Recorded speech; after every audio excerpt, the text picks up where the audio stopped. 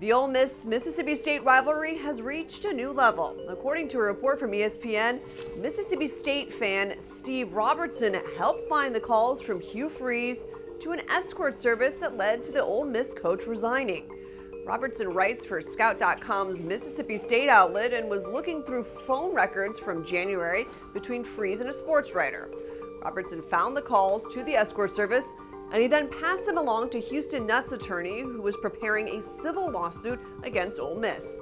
Robertson says he has received several death threats since the news broke and insists if Ole Miss had just apologized to Houston Nutt, the case would have never gotten this far.